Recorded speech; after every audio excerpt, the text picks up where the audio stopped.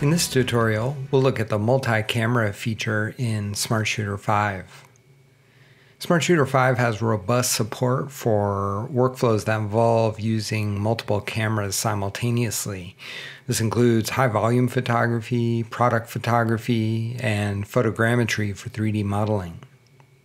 By default, SmartShooter 5 will come with a single camera license. So let's look at the upgrade process.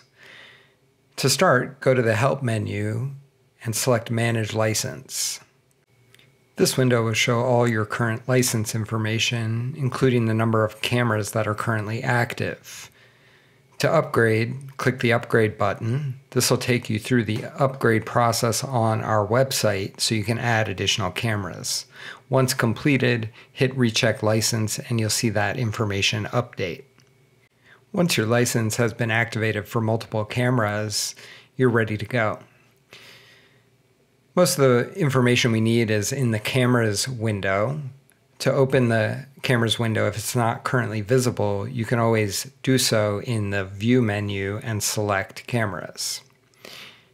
When you connect new cameras, this is where your cameras will appear. I'll connect two cameras here, and we see Smart Shooter registers it instantly. In the cameras panel, you have access to all kinds of information associated with each camera. You can always show or hide different columns depending on your preference.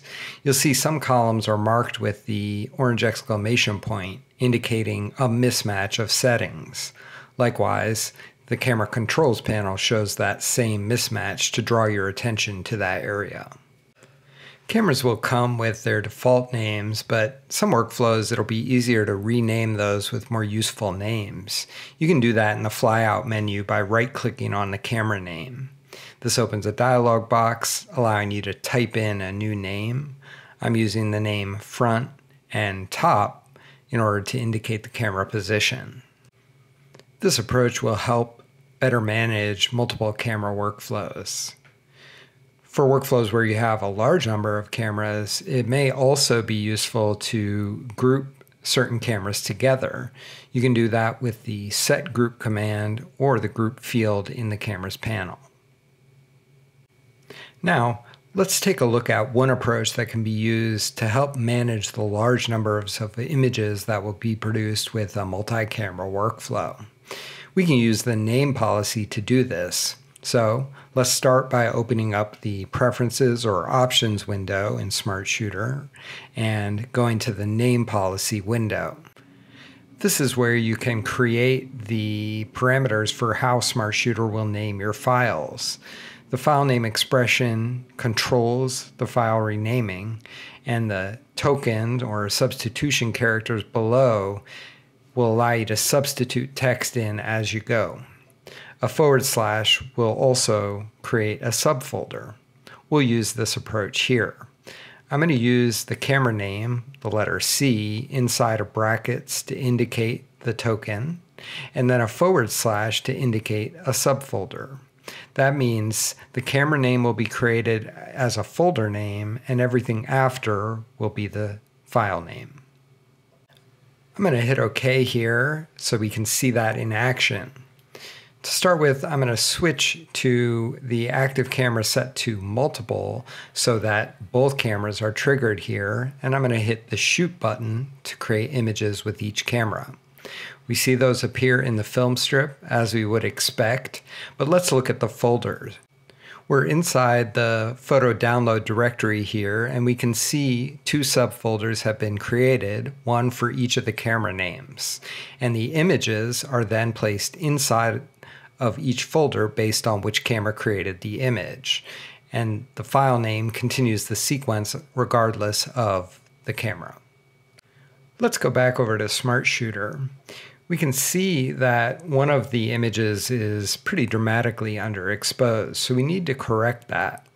So we want to make an adjustment to a single camera here, so we need to select that camera in the active camera section of camera controls with that camera selected, that means any setting that I adjust will only affect that camera. I'm going to open up the aperture here to give us more, some additional exposure and let's try that again. I'm going to switch back to multiple to generate two new images. And we can see things are starting to look better, but now when we look at that front camera, we're also seeing a little bit of underexposure. So I'm gonna use the same method and open up the aperture there on that front camera and switch back to multiple and shoot a new pair of images. And again, things are looking good. Now that top camera is a little bit underexposed. So let's just open up the aperture one more time using the same method and create two new images and things are looking pretty good. Let's just check back at our folders to see that each of those new images was placed in the corresponding folder. So you can see Smart Shooter is sorting those based on that file name expression we created earlier. Live View can always be an important tool when you're tethering, and this is all the more true when you're using multiple cameras. So Smart Shooter has a live view panel, which will allow you to enable live view for your cameras. New with Smart Shooter 5, you're now able to open up multiple live views at the same time. You can do that in the View menu. You'll see a Live View section, which will allow you to up, open up to four live view panels simultaneously. We can use the new docking feature to dock those together so that we can see them both at the same time. I'll enable the second live view here and we can see that we're getting a live video feed from both cameras at the same time. And when I reach in here to make an adjustment, that's reflected immediately in both live view feeds as we would expect. Each live view window will have different settings that apply to that window. You can access that in the gear icon there, and you can select different cameras and control different aspects of the display. There's also the image overlay feature. We can select an image. I've got a square crop that I'd like to use in this case. And once I select that, that image can be loaded up in that live view display by clicking the show overlay button.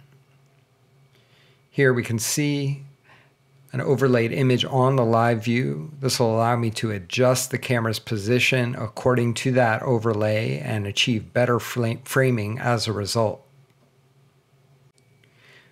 The image overlay has an independent slider which will allow you to set the opacity of that image so you can dial it down or up depending on your needs. Again, each live view window will have an independent control for image overlay. I'm going to make a few new images here with the new framing and now that I have that done, I can turn off the overlay associated with each live view feed. As you can see, Smart Shooter 5 gives some pretty incredible control for workflows that use multiple cameras. That's the multi-camera feature in Smart Shooter 5.